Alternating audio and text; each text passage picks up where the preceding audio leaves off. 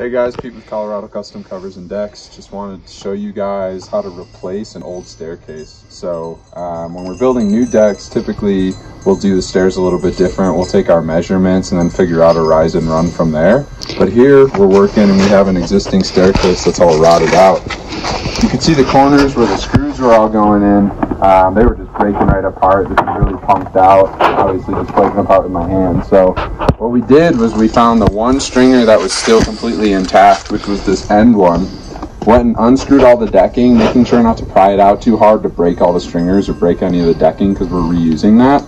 And so then we took out this good stringer, uh, got all the screws out of that, and then I brought it over here to our fresh 2x12s and traced it onto here. And so since it's an old stringer, the lines aren't perfectly straight. So what I'm gonna do is when I make my cuts, I'm just gonna make sure my cuts are really straight. And then I'm gonna use this board as my new template um, and scribe that onto all our new boards, cut six more stringers, reset them, center them, and lay them back out. So this is just a quick and easy way to replace stairs if you got them and you don't know how to do a layout or figure out what your rise and run would be.